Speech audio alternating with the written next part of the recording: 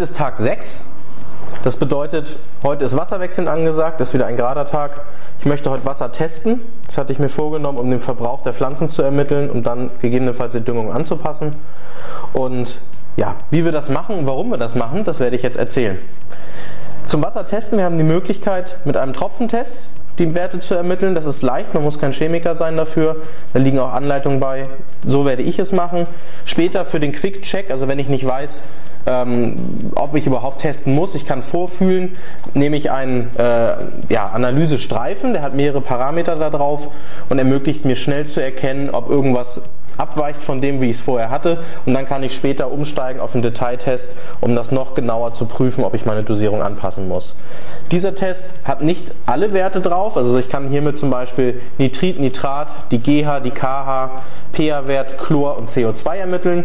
Und wenn ich dann sage, Mensch, da ist eine Abweichung, dann steige ich hierauf um und habe auch hier eine viel feinere Skalierung. Das ist sozusagen ein Quick-Test, der gut funktioniert, der auch genau ist. Man kann die Werte wunderbar vergleichen. Aber wenn ich ins Detail einsteigen möchte, dann brauche ich einen Testkoffer. Ich habe schon mal was vorbereitet.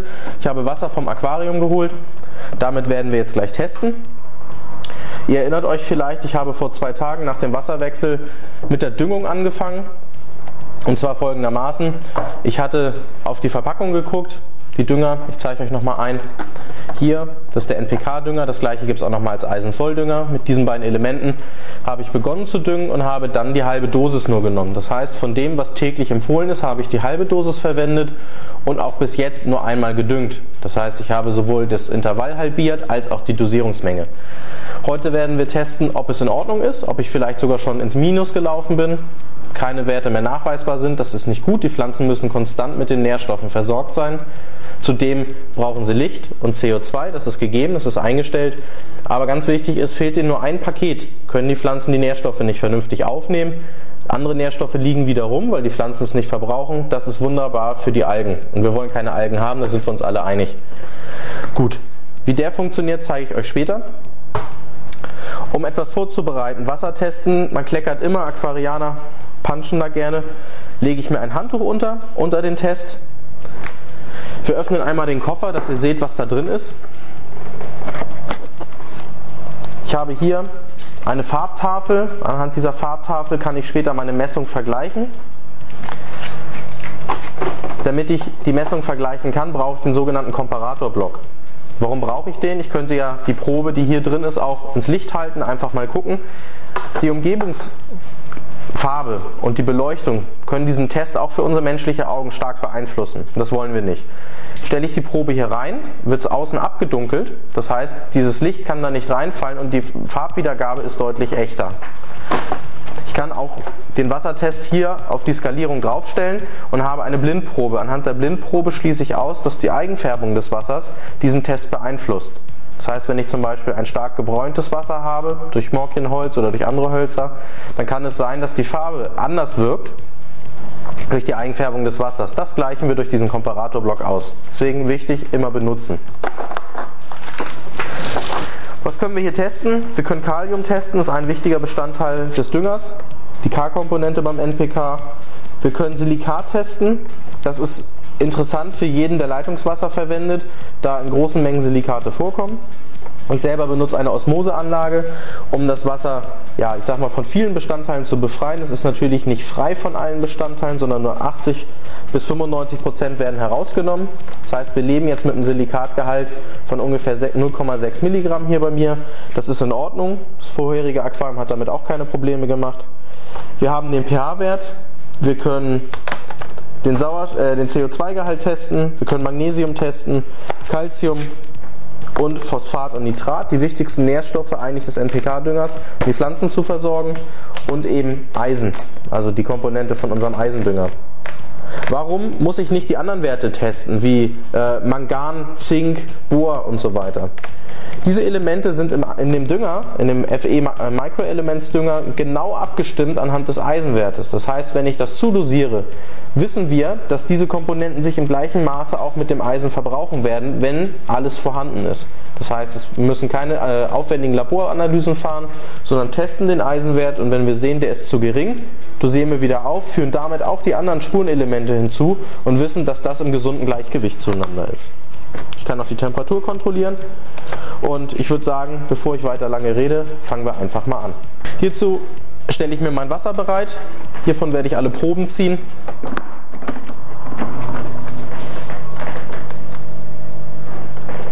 Ich klappe den Testkoffer auf. Dann würde ich sagen, fangen wir einfach mal an. Wir messen zuerst die Carbonathärte mit der kleinen Reagenz. Wie wende ich das an? Ich muss die Tropfen zählen, dieses Symbol zeigt es mir. Tropfenanzahl Fragezeichen, klar. Wir wissen ja noch nicht, wie die Carbonathärte aussieht.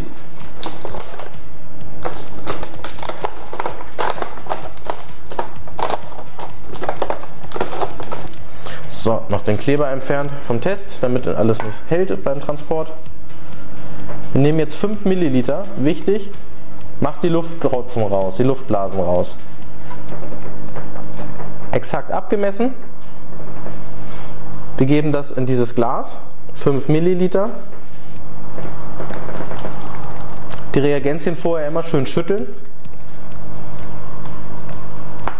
Und hier ist eine Kindersicherung dran, also nicht wundern, wenn es schwerer aufgeht, das dient rein zu eurem Schutz und auch dem Schutz eurer Kinder.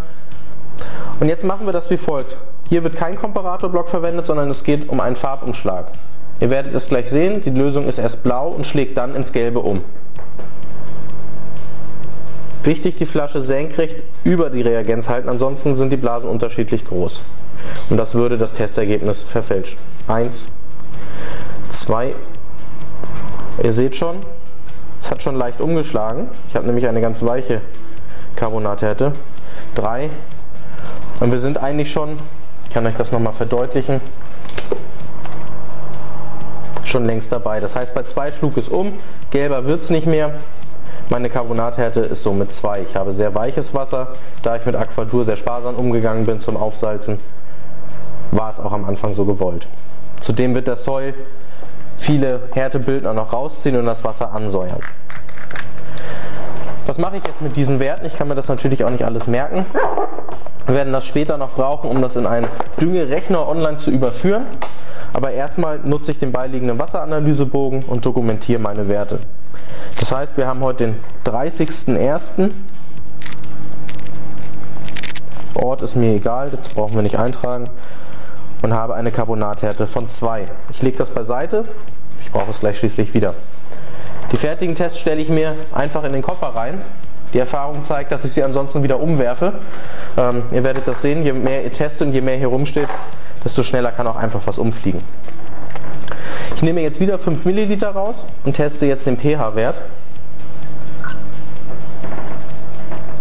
Reagenz schütteln.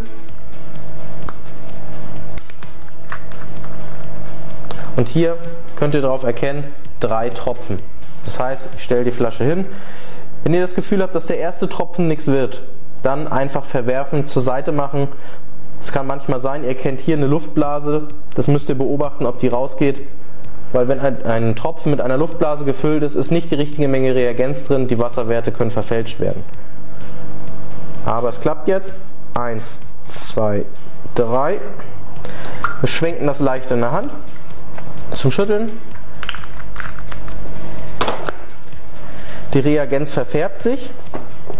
Ich zeige euch das wieder.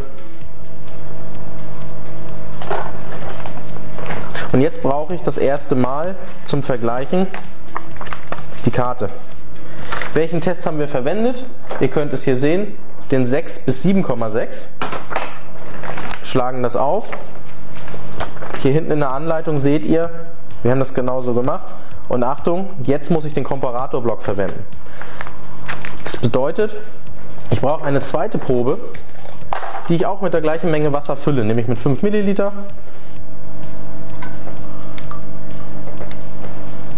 Nehme die beiden, stelle die Blindprobe auf die Farbskalierung oben rein und meine erhaltene Probe hinten rein, die ich auf der weißen Fläche führe. Ich bewege es jetzt langsam auf der Skalierung entlang, bis ich meine, den richtigen pH-Wert erkannt zu haben. So, wichtig ist, guckt von oben rein, guckt nicht von der Seite rein, das verfälscht auch wieder die Ansicht. Nur mit dem Komparatorblock kann ich fast nur von oben gucken. Und ich sehe, ich bin eigentlich zwischen 6,4 und 6,6. Das lässt sich nicht genau zuordnen, da er genau dazwischen liegt. Ich schreibe mir jetzt 6,5 auf. So, auch die Probe stelle ich daneben. Und dann machen wir mit dem nächsten Test weiter. Was werden wir machen? Wir nehmen uns erstmal den Eisentest vor. Also hat die Düngung gestern funktioniert? Wie läuft der Eisentest? Ich weiß das auch gerade nicht mehr aus dem Kopf. Ich meine, es sind 5 Milliliter und 5 Tropfen.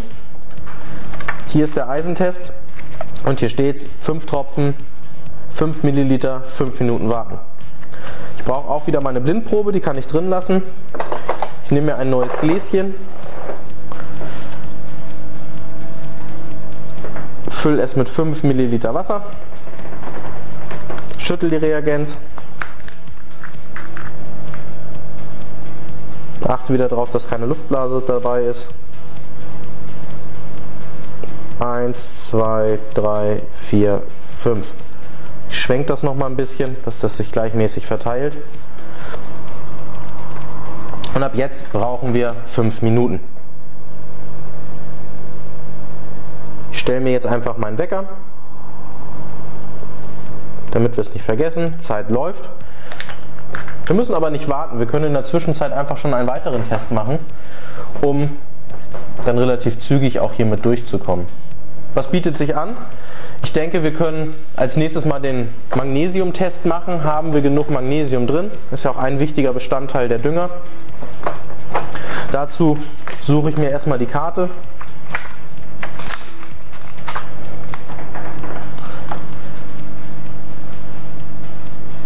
Wir sehen hier, ich lege das mal beiseite.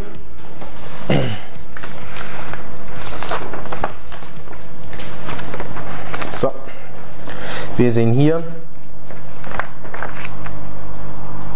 2 mal 5 Milliliter, anders als bei den anderen Tests. Einmal 7 Tropfen, 3 Tropfen, 2 Tropfen, eine Minute warten. Das werden wir jetzt auch genauso machen.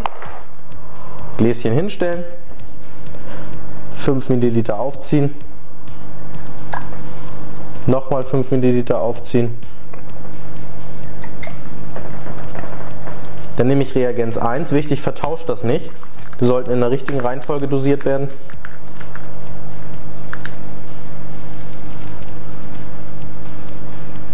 Und hier ist jetzt so ein Fall,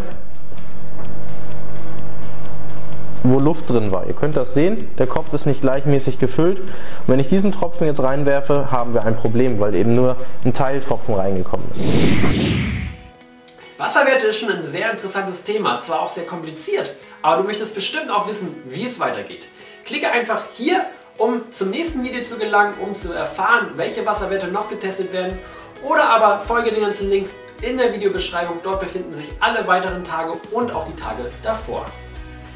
Wenn dir das Video gefallen hat, gib uns einen Daumen nach oben und hier in der Ecke kannst du noch mal unseren Kanal abonnieren, dann verpasst du wirklich auch kein Video mehr von uns. Ich verabschiede mich und wir sehen uns im nächsten Video wieder mit Schaust du Garden TV, wirst du Garden schlau. Bis dann.